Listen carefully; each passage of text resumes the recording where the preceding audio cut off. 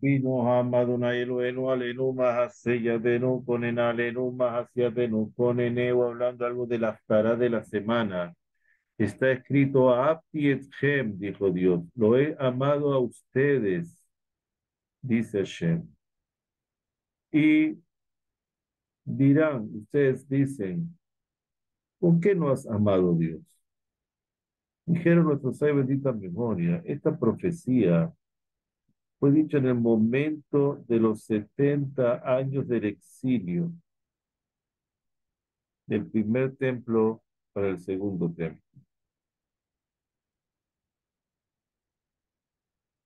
Habían comenzado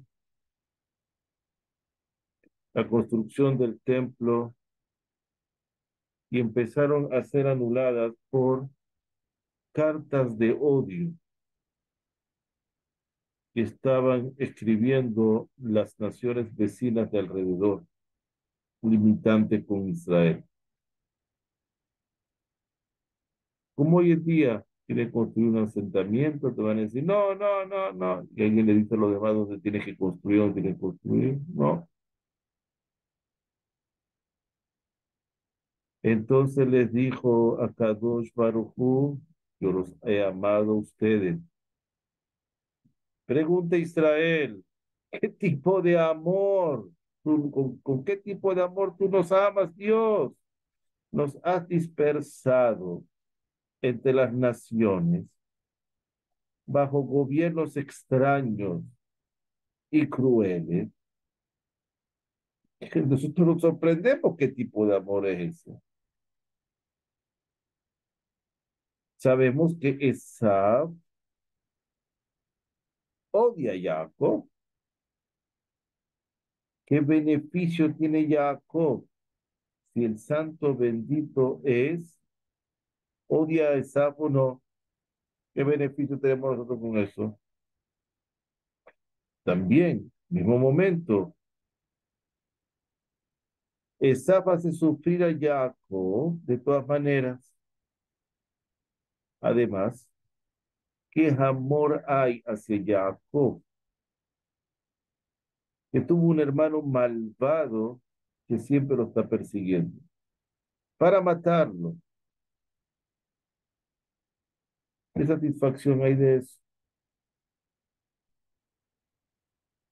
También eh, está escrito esto y sorprende la escritura. ¿Cómo puede ser que Jacob y Esab eran hermanos de un mismo padre y de una misma madre, fueron creados del mismo vientre, mamaron del mismo lugar y son las dos caras de la moneda, opuestos completamente. Y los dos salieron de lo más selecto de los patriarcas. Y esa es la cabeza de la maldad y Jacob la cabeza de la Torah. ¿Y por qué hizo a Kadosh Baruj esto? Está escrito en el Zohar y también en nombre del Arizal. Ahabti etchem amar Hashem. Lo he amado a ustedes, dijo Hashem. Y les he dicho, ¿con qué nos vas a amar? Preguntó Israel a Dios. ¿Qué, amor hay aquí?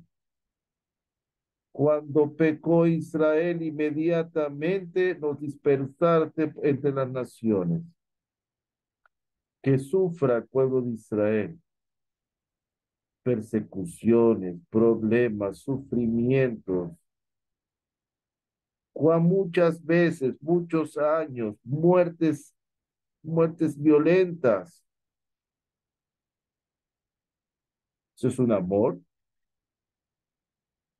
Si pecó Israel, necesitaban recibir un castigo en su misma tierra. Y tu nombre, Dios, no fuera profanado entre los pueblos, cuando los pueblos dicen, empiezan a agarrar otras deidades, y empiezan a creer en otras cosas, al ver, mira, el pueblo de Israel que solo se elegió, mira cómo sufren. Contestó el santo bendito es, está escrito en el Zohar el Aria Kadosh. Esta es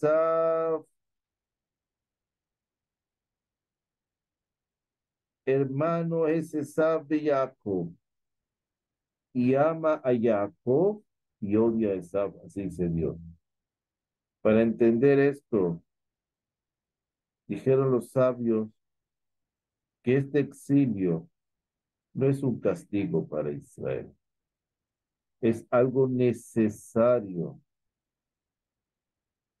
porque desde el principio creó el santo bendito es la santidad y la clipa, que es la capa de mugre espiritual. Y cuando pecó el primer hombre, él entremezcló lo bien con lo malo a comer de ese fruto del bien y del mal. Y cayeron los 50 niveles de santidad. ¿Dentro de dónde? Dentro de las que fueron atrasados por las capas de pobre espiritual. Por lo tanto, se, con esto se fortaleció la fuerza de la citra Hará.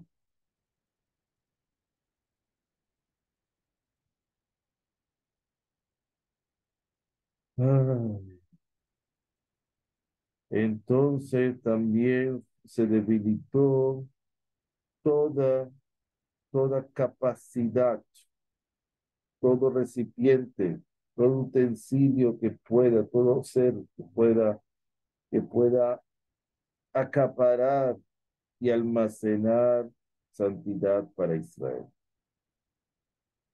Por lo tanto, bajado el pueblo de Israel a Egipto. Egipto era la rocha, Sitra, Hará. ¿Cómo se escribe Egipto? Egipto se escribe Mitzrayim, que es la palabra tzar, estrechez.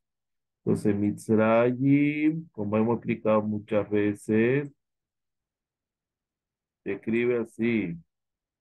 Pueblo de Israel pudo entrar, pero después la capa de mugre espiritual no la deja salir. Cerrado por todas partes. La mem se cierra aquí y no deja salir. ¿Y dentro qué hay dentro? ¿Dónde quedan atrapados? Yo, Sadik, el Yetzer, en el mal instinto. Por eso la Torah después nos dio la Torah que es Mayim. ¿Qué es Mayim? Mayim es agua que es la Torah. Podemos entrar al agua de la Torah. Tampoco de la Torah se sale. Pero quitamos la estrechez que es el Zar y me queda la yo, que la primera letra del nombre de Hashem, la Jochma, y la creación de los mundos superiores en mayo. ¿Ok? Esto hemos estudiado varias veces, repetido. Entonces continuamos. Entonces fueron para poder sacar eso. Y después fueron sacando poco a poco hasta nosotros hoy en día la diáspora, sacando poco a poco eso. Por eso es que hay comunidades que se salieron de esa comunidad se terminan, salen a otro, van a otro lugar, dispersados, viene un gobierno y los expulsa, vienen otras persecuciones, vienen problemas que persiguen a los judíos, etc. Tienen que salir por esa razón. Nosotros no decidimos nada. El que crea que por política él decidió, por dinero él decidió, está bien equivocado. Dios le puso las condiciones para que, y lo decidió por él. Nosotros venimos en contra de nuestra voluntad a este mundo, vamos en contra de nuestra voluntad y, y además tenemos que deambular para corregir nuestros pecados, también en forma de nuestro pecado de nosotros, pecado de nuestros padres, nuestros ancestros, y así vamos llevando la vida y haciendo lo mejor. Baruch Hashem Leholam. Amén, amén.